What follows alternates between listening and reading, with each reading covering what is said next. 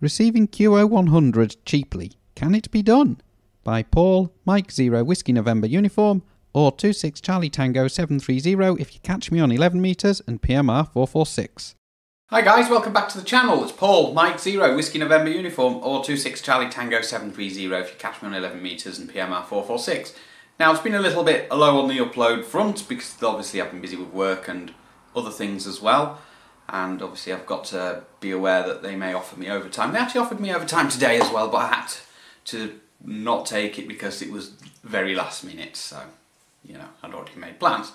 So in this video, we, we should be looking at if it's possible to receive the QO100 satellite using a Sky TV satellite dish. I think that might be possible. I've got a homemade bias T to run the LNB. The LNB is just a standard off-the-shelf Sky LNB, not one of the Sky Q ones because they will not work. Has to be one of the normal ones. So we've got the homemade bias T, which is in a Sugru tin. I should have a video on that one actually, uh, which is which has a short piece of um, a feeder to the LNB and also a short power cable hanging from it. I can actually see it from here on the um, uh, satellite dish. The satellite dish itself is a Zone 2 dish and I purchased that one from Amazon. I'll pop a link to that in the video description below if you're interested in a satellite dish. Whether you want it for its intended purpose or whether you might want to try it on QO100 though there's no guarantee this is going to work.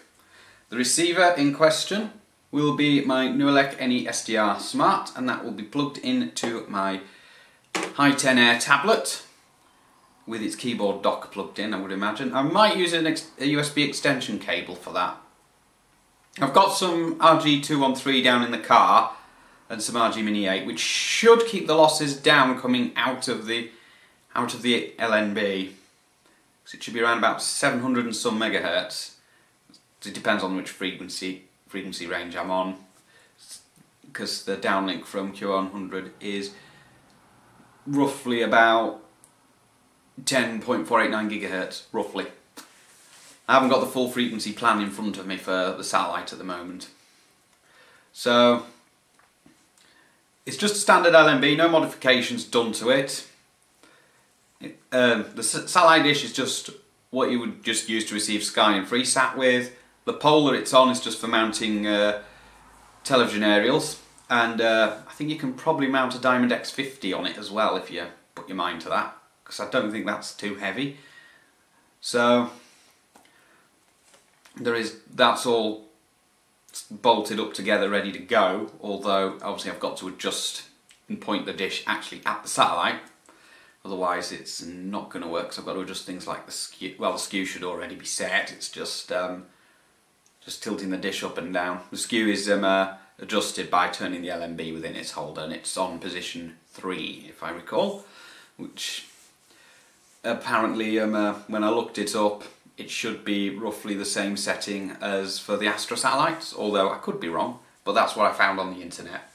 So, so I won't be using uh, the SDR Sharp software because that for whatever reason isn't working for me at the moment. It's refusing to acknowledge that this is connected. So I'll be using a different SDR software which actually would be easier for me to tune tune to the satellite with. So all I've got to do is listen for the beacons and adjust the dish accordingly. The signal probably will drift but I think the software might try and lock it. So should be okay but I don't know. So I'll be going up to my old radio testing ground at the Washington Road end of Richmond Old Racecourse with the dish and with and with the, the tablet and I'll be powering the, L, the LNB using the bias T, supplying it with 12 volts from my car. I do have a lead in the car that's one end is a cigarette lighter plug and the other end is terminated in Anderson power poles and the output on the bias T I have put Anderson power poles on as well. So hopefully everything should should be should still be working. I don't know yet because I know I know the bias is working now, but I don't know if moving it would make it not work. I could have done it yesterday, but it was was raining on and off yesterday, and I also had other things to be doing. So, hopefully, after I finish filming this, I'll be able to get everything I need, and then I'll be able to set off for the Washington Road end of Richmond Old Racecourse, and hopefully no one will complain that I'm up there pointing a satellite dish about. Uh, I might get some questions asked, but hey, you know, I'll just say, oh, it's uh, amateur radio project. Uh, the... But I get a lot of questions about that. I get questions about the antennas on my car sometimes as well, so, you know.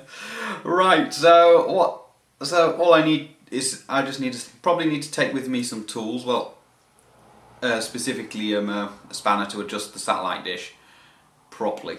So, I'm, I'm, also, we're on a new tripod today, and that's at the lowest setting for this camera. And that's actually pretty good, so I can have the tripod a wee bit higher than I would like, if I wanted, or lower. So, I'm going to swap over to the the other camera, or maybe my phone, depending on whether the other camera's got enough space on the SD card and enough charge in the battery. And uh, without further ado, I'm going to head up to the old the old race course in Richmond and the Washington Road end because I can actually bungee cord the post that to a post. Yeah, right, I'll catch you then. Okay, you joined me in the car. I've got the tablet on and SDR console running, which has this helpful. I'm not sure you can see it because the sun's shining a bit off this. This very helpful geostationary satellite beacon feature at the side. Now that's only really applicable to the satellite that we're interested in at the moment because it's the only geostationary satellite that that amateur radio operators have access to. And that's that's the QO100 satellite. So that's the one we're looking at today. It's in SSB mode, upper sideband, I believe it is at the moment. Uh, so I've just got to keep fiddling until I can get an adjustment.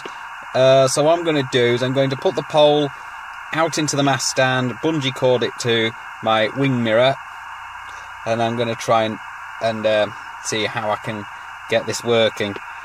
Because obviously I've got to put the dish on and see if I can get it working and see where we go from there. So I'm just going to turn the car off for the moment because I'm going completely off because I don't need it on at the moment. I need to try and conserve the battery because I think the battery's starting to go and that's a bit of a concern. So you also might notice there's a spike on the on the display there, and that's an artifact of the SDRs, nothing I can do. I've got coffee and a donut from a well-known fast food fast food chain.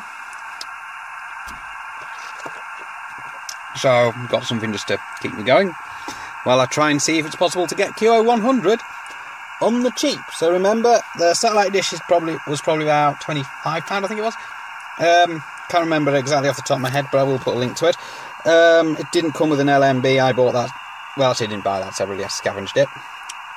But you, but you'd probably have to buy that separately, or you can buy a dish with with the LNB for a little bit more.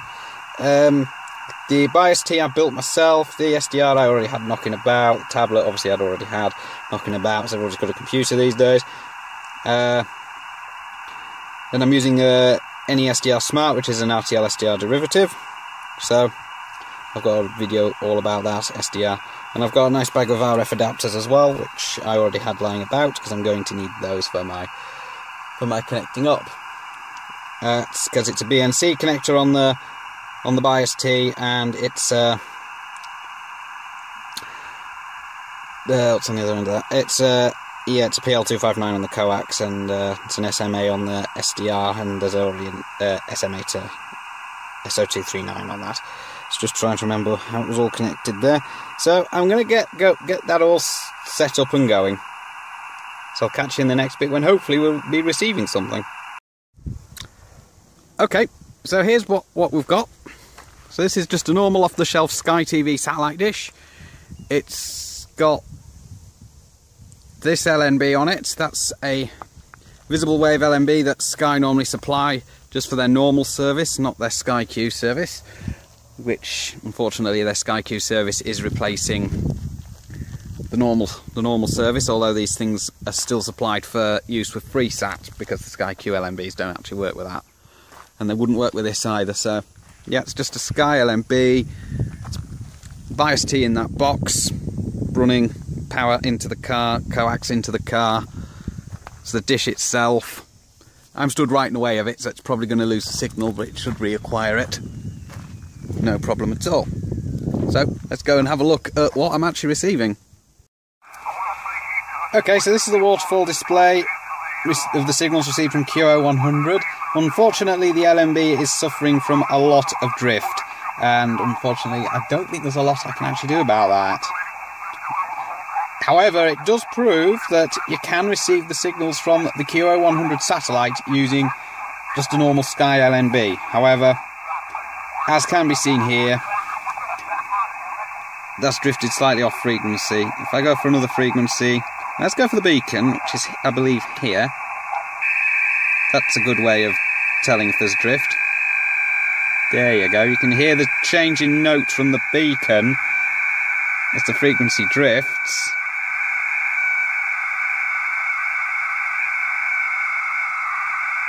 And that should be rock steady, but it's not. Unfortunately. Apparently, if I go into this thing, it should correct. But it hasn't done.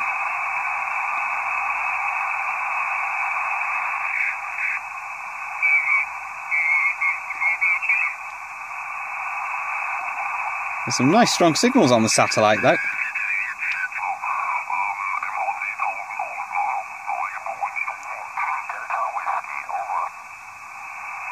So, if Go over here,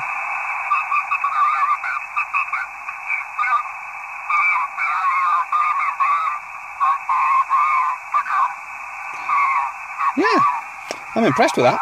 It's actually worked, but not as brilliantly as I would have thought. So, what we'll do now is we'll go back to the shack once I've taken all the satellite dish and everything down, and we'll draw a conclusion there. So I'll catch you back at home in the shack. Yeah, you can just hear that. You can hear the note change there, the tone. So I will take this all down and we'll go back home. Right, so what can I conclude from, from this little exercise? Well, I can conclude that it is indeed possible to use a normal Sky TV satellite dish and LNB, that was a Visiblewave quad output LNB, um, to receive the QO100 satellite. The only drawback with it is, as I mentioned earlier there in the video, is that it's drifting. It, the LNB is drifting. So I was bringing the dish because I actually have the dish to hand here. Ooh, it's a wee bit heavy.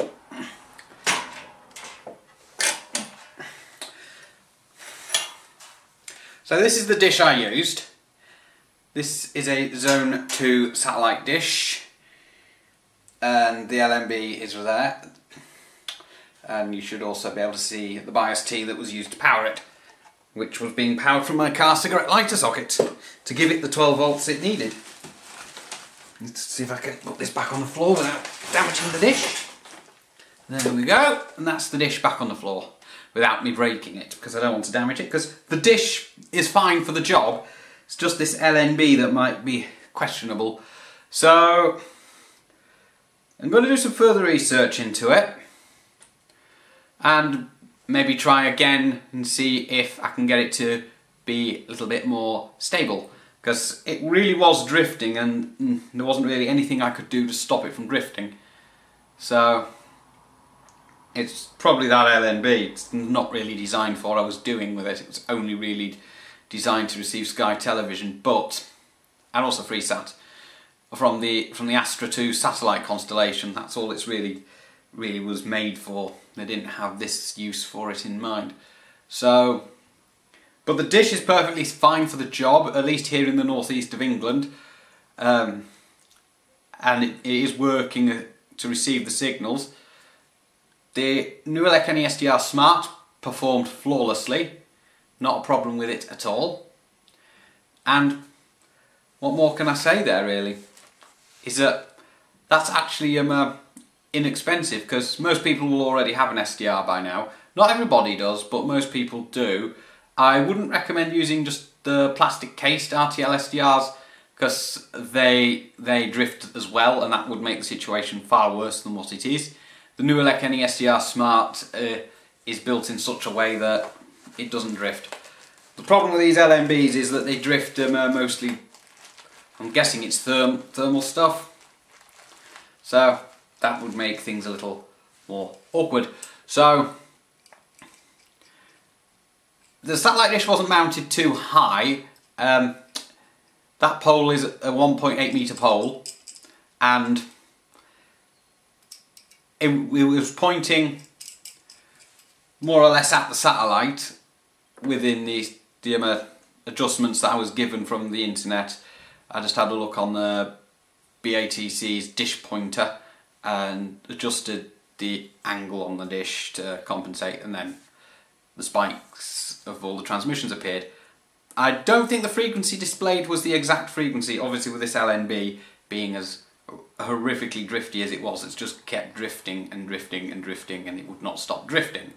So there's not really a lot that can be done about that, I don't think, without taking it apart and modifying it.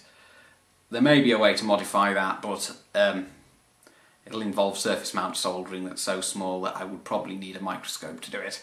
And yeah, I'm not doing that. So I'll just buy an LNB that's a little bit more stable, that's designed for that shape of satellite dish because the LNB and the dish shape kind of relate to each other. I couldn't use that LNB on a round satellite dish. So, there you go. So, that's actually beyond the scope of this video though. The idea of this video was to see if we could receive QO100 using a Sky TV or FreeSat satellite dish which in this case turned out it, it was indeed possible to do it, although it was drifting. So it worked. That's all I can say on that. It worked, but it was drifting. Just needs some further looking into to get the right reference. So if I can get it to be stable, I will up, put an updated video on at a later date. However, I don't think it'll be stable at the moment. So I'm going to get this one up and edited and uploaded. Yeah, if you're watching it, you'll it'll that's already done. Um, and all there is to do now is wish you all 7-3. Thanks for watching. Don't forget, like, subscribe. The thumbs up is always good. If, if you don't like it, there's always the other one, the thumbs down, but that's entirely up to you. So keep keep yourselves all safe out there, guys, and obviously we're starting to get the winter, and we still haven't shook off the pandemic. So you know, just keep yourself safe and safe, and you you know, if you have to stay in to self isolate, get yourself on the radio, get yourself on the air, and don't feel isolated while you're isolating. I always say this and I always promote the radio as a good way to keep in touch with everybody in the outside world whilst you're having to isolate because of the coronavirus. So, yes, we're obviously still in the pandemic at the time of filming this. So, as I say, keep yourself safe, and I'll catch you in the next video. So, 7 threes for now, guys. And the next video, hopefully, will be a little bit sooner than this one's been. Like I say, it's been a little bit busy. 7 threes for now, guys. Don't forget, you can subscribe to this channel and ring the bell to be notified of new videos as I upload them. 73 is from Paul, Mike 0 Whiskey November Uniform, or 26 Charlie Tango 730 on 11 metres and PMR 446.